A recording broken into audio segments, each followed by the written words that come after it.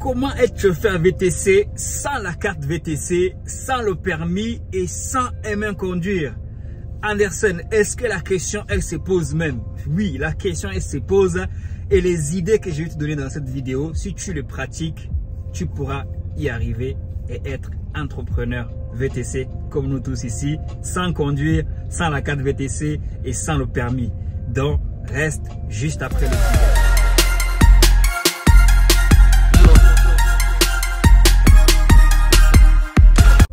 Salut à toi, bienvenue encore une fois sur Autobricolage. Moi c'est Andersen. Oui, je te salue depuis ici, des montagnes, au milieu des montagnes, dans la vallée du sud d'Allemagne, où je passe, je suis en train de passer 5 jours d'émission pour une entreprise allemande qui exerce également, qui est une filiale en France. Donc sans plus tarder, on va discuter dans cette vidéo sur le comment, toi aussi, tu peux te lancer dans le VTC même si tu n'as pas la carte VTC, même si tu n'as pas le permis et même si tu n'aimes pas conduire.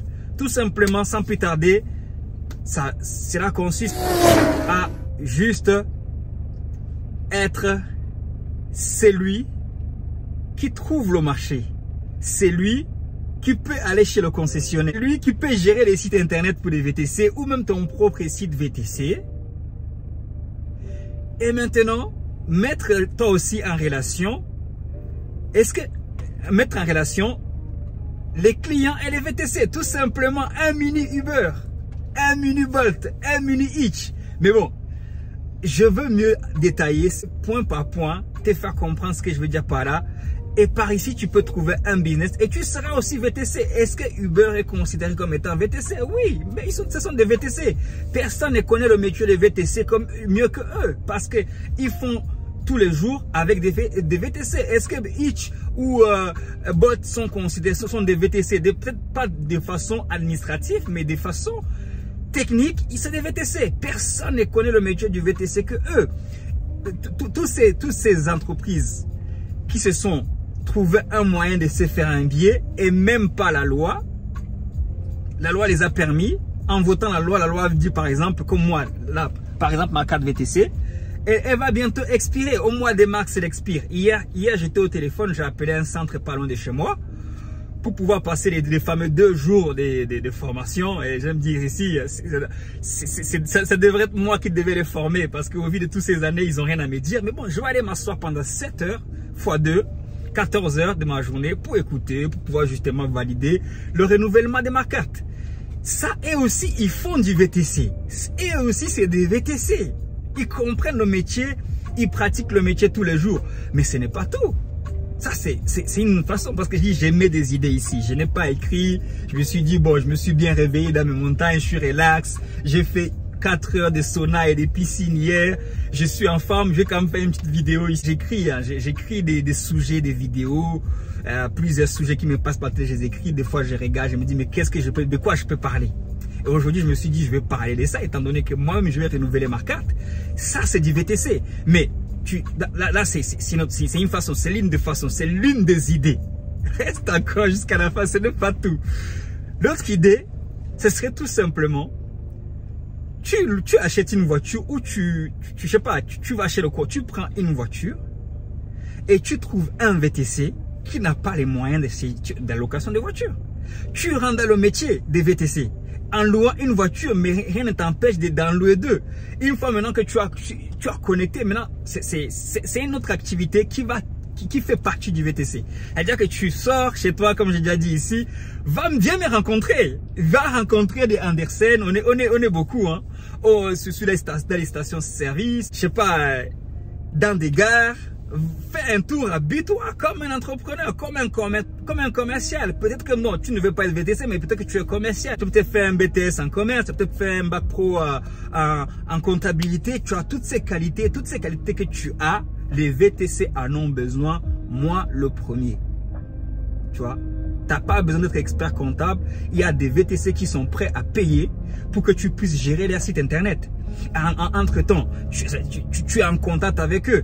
Il y a des VTC qui sont prêts à payer pour, que tu, tu les loues ta voiture, pour que tu ailles chez Mercedes, que tu ailles, je sais pas, chez Toyota, décrocher un contrat où tu sors peut-être 3 4 voitures et tu travailles avec des VTC. Mais pour ça, il faut commencer petit à petit. Un moyen aussi de commencer petit à petit sans débourser de l'argent, mais ça ne coûte rien. Mets en place un site internet, ça n'est pas compliqué. Avec, euh, avec l'intelligence artificielle, tout devient de plus en plus facile à mettre en place. Des sites internet déjà euh, pratiquement faits, tu te suffit juste de, de trois jours, même si tu ne connais rien, en informatique, disons une semaine, tu te formes, tu as mis ton site internet à pied. Et, une autre semaine, peut-être moi j'exagère, hein, tu peux apprendre comment faire la faire la publicité euh, sur Google. Et là, tu as, tu as créé une machine qui va te ramener des clients. Maintenant que tu as rencontré des VTC, ils vont te mettre dans des groupes, dans des groupes de VTC. Là, tu pourras partager des courses tu as commencé déjà avec, un peu, avec peu d'argent à être en contact avec des VTC. Et ces VTC en question, ont des besoins. Quand tu as une voiture, ça va. Mais quand tu commences à en avoir plusieurs, tu n'as même pas le temps de faire les factures. Et, c'est même pas tout de faire les factures. C'est-à-dire pendant que tu fais les factures, pendant que tu, tu en prends même 10 VTC, si chaque VTC te, dit, OK, je te paye 150 euros, mais à chaque fois que j'ai des factures, je te les envoie. Si le gars a plus de 2-3 voitures, il, il, sera prêt à payer et toi-même tu seras dans le métier du VTC sans le permis, sans la carte VTC, sans même aimer conduire. Tu pourras même écrire des livres sur le VTC. Tu pourras créer une chaîne YouTube qui est aussi un business pour, pour sur le VTC. Ah oui, clairement. C'est des idées que j'ai mets ici pour des personnes peut-être qui me regardent, même pour des VTC peut-être qui, qui disent ok j'ai envie de faire un peu autre chose, j'ai envie d'égarer ma voiture pour essayer de faire un peu autre chose renseigne-toi sur le, moyen de faire. Et ça, vraiment, c'est des idées que j'aimais parce que bon, c'est vrai que la majorité de mes abonnés sont des VTC, mais il y a des personnes ici qui viennent juste pour s'informer, juste pour savoir comment ça marche. Mais en gros, il y a cette façon de faire, louer tes voitures, prendre des voitures et les louer. Et surtout, je vais insister sur le fait de t'associer avec un VTC comme moi qui a la King 4. Trouve, c'est pas difficile à trouver. Trouve autour de toi peut-être qu'il y a des VTC et, ramène quelque chose justement. Qu'est-ce que tu vas ramener? Ce que tu vas ramener, c'est ce que je viens de te dire. Ramène ton savoir-faire au niveau de l'organisation. Ramène tes compétences au commercial. Ramène tes compétences au niveau de gérer un site internet. Ramène tes compétences au niveau des, des savoir faire la pub, la pub, la pub, sorry, la pub euh, Google. Ramène ses compétences et trouve-toi un VTC. Maintenant, lui qui a la carte, qui est prêt à être sur la route, déjà quelqu'un comme ça. J'ai déjà quelqu'un comme ça, mon associé. Aujourd'hui, ce n'est plus une SASU, c'est une SAS. Ma associé, c'est une SAS. J'ai donné 10% de ma société à une personne qui justement, lui, il remplit ses côtés. Mais il aime aussi conduire. Il a le permis, il n'a pas la carte VTC. Il, il gère tout ce qui est Internet, en train de mettre en place des sites Internet, des choses comme ça là. Et peut-être que toi aussi, on pourra te proposer justement nos services plus tard. On pourra peut-être euh, te proposer nos courses plus tard ou notre savoir-faire sur les sites Internet. Mais par contre, moi, perso, moi, ma priorité, ce n'est pas de vendre quoi que ce soit à quelqu'un. Ma priorité, c'est ce que c'est de rajouter la valeur à quelqu'un. C'est vraiment de rajouter de la valeur à quelqu'un. Et, et j'ai dit dans, dans, dans précédemment, moi c'est ma façon, YouTube c'est ma façon de donner, c'est ma façon de faire du bénévolat. Et j'ai beaucoup de respect pour des gens qui prennent leur temps pour aller servir les autres gratuitement. J'ai vraiment, j'aime beaucoup et c'est pour ça même euh, aujourd'hui je, suis à mes 1000 abonnés, je, je, je peux monétiser ma chaîne, mais je ne l'ai même pas monétisé parce que ce n'est pas ma priorité. Donc si je te dis qu'on peut, c'est pas forcément... Déjà, je te donne tout, tout, tout tous les secrets. Je te donne, toi-même, tu peux le faire toi-même. Toi-même, tu peux le faire. Et, et, et ce que je sais, je suis conscient. Je dis ça pour je suis conscient parce que on est beaucoup à ne pas vouloir aller chercher des clients. C'est pour ça qu'on paye 25% de commission à Uber pour qu'ils nous ramènent des clients. Et même toi-même, si tu me ramènes des clients, je vais te payer les 20%, les 25%. Si tu me les ramènes, je te paye, il n'y a pas de souci. Parce que c'est des métiers différents. Tu ne vas pas conduire euh, tu, 10 heures et aller gérer un site internet. Tu vas pas et, et, aller gérer ta, ta comptabilité, tes, tes factures. ça ce n'est pas là où tu gagnes le plus d'argent. Ça te défocalise de ton vrai métier. Ça t'empêche de, de, de, de, mieux servir ton client. Ça t'empêche d'être là parce que à chaque fois que tu manques un service, à chaque fois que tu fais un service où tu es fatigué, c'est un client que tu aurais pu avoir sans pour autant passer par des sites internet et tu, tu aurais pu faire bonne impression et le temps aussi que tu prennes soin de ton corps parce que c'est ton corps qui est derrière le volant. Je l'avais déjà dit ici conduire, ça, ça, demande euh, une certaine forme physique.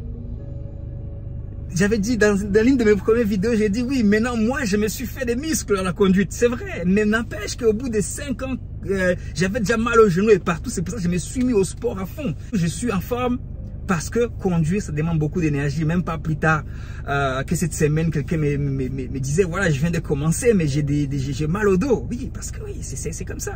Mais tu rajoutes à cela, va faire un, va t'asseoir derrière ton ordinateur pour faire un, pour gérer un site internet. Va t'asseoir derrière ton ordinateur pour euh, euh, trouver des voitures, pour trouver, pour, pour trouver ta prochaine voiture. Toutes ces choses, c'est des choses que tu peux déléguer. Toutes ces choses-là, c'est des idées des business que j'ai citées ici. Euh, si tu prends le temps d'écouter cette vidéo, de réécouter, tu prends noter toi-même maintenant, mettre ça au clair. Moi, j'improvise ma vidéo, je viens de déposer mes clients, je dis, ok, je vais quand même faire une vidéo dans cette vallée-là et de quoi je peux parler? Il y a une vidéo qui attend depuis longtemps, comment devenir chauffeur VTC sans la carte VTC. J'ai balancé des idées en vrac et voici comment il y en a d'autres. N'hésite pas de me les mettre dans les commentaires. Et moi-même, j'hésiterai pas de répondre à tes questions dans les commentaires en mettant tout ce que, parce que des fois, quand je prends le temps de, devant la caméra, il y a des choses qui m'échappent, des choses que je ne dis pas comme j'aurais voulu le dire. Et c'est en écrivant que je les dis plus clairement. Donc, si tu n'as pas compris quelque chose, n'hésite pas de me poser la question. Comme d'habitude, je me ferai le plaisir de te répondre. Et sur ce, je pense que déjà, un, au niveau des voitures, tu peux louer des voitures. Deux, tu peux vendre des services, des conseils. Tout ce qui est facturation, tout ce que tu peux trouver des courses et les revendre aux autres chauffeurs. Et tu as compris, tout est dans cette vidéo. On est convivial ici, on est au calme, on partage. Et c'est ça la devise de notre chaîne. Booster ton mindset business, mais faire pour ton prochain ce que tu aurais voulu qu'on fasse pour toi. Et moi, ça là, ce que je donne sur cette chaîne, c'est ce que j'aurais voulu savoir il y a 8 ans, il y a 5 ans, avant de me lancer ou même pendant que j'étais en pleine activité, j'aurais voulu vraiment savoir, avoir toutes ces informations parce que moi, de mon côté, elles m'ont elles, coûté de l'argent. Clairement, elles m'ont coûté beaucoup d'argent avant de pouvoir comprendre, avant de comment fait les, comment ne pas perdre les factures, toutes ces choses-là, tout, tout ce que je viens partager avec toi sur cette chaîne m'ont clairement coûté de l'argent et vos commentaires, vos messages sur euh, Instagram mais prouve que c'est prouve que c'est vrai, que ça m'a vraiment coûté de l'argent. Même pas plus tard qu'hier, quelqu'un m'a répondu à un message parce qu'il voulait acheter une, il, voulait acheter une Mondeo. J'ai dit mais les Mondeo ne sont pas pris. J'ai dit oh là, il me dit oh là là là là là, là tu m'as sauvé la vie. J'étais j'étais sur le point d'acheter. dit merci merci et je n'exagère rien. Mais comme quoi en fait c'est utile ce que je fais. C'est vraiment utile, ça aide quelqu'un. Moi j'ai pas besoin d'aider 10 000 personnes. J'ai pas besoin d'aider un million de personnes. Tant que moi je me rends utile à une personne ça me fait dormir en disant que, voilà, j'ai rendu service, j'ai apporté un peu de la positivité dans ce monde assez compliqué. J'ai rendu service à quelqu'un et moi aussi, vous me rendez des services. Moi aussi, vous me rendez service dans vos commentaires, dans vos encouragements et franchement, merci Big up à vous. Merci de me supporter, de supporter mes bugs, de supporter mes, mes fautes d'autographe. Je suis fané ici, désolé. Je suis arrivé ici à 17 ans. Et bah, bah, c'est pas des excuses. Hein. C'est pas des excuses. Je continue de lire, je continue de travailler. Mais des fois, face à une caméra, des fois, on fait des erreurs. Face à une caméra, on fait des fautes qu'on n'a même pas l'habitude de faire parce que quand même, il y il y a une forme de pression. Parce qu'on est regardé, le monde nous regarde. Je ne sais pas qui peut tomber sur ma vidéo. Peut-être que Macron, le président Macron peut tomber sur ma vidéo. Donc, euh, je sais pas, ma mère regarde mes vidéos maintenant. Big up à elle, elle s'est abonnée. Bah, écoute, on est ensemble la famille. God bless you. Peace. Bye bye.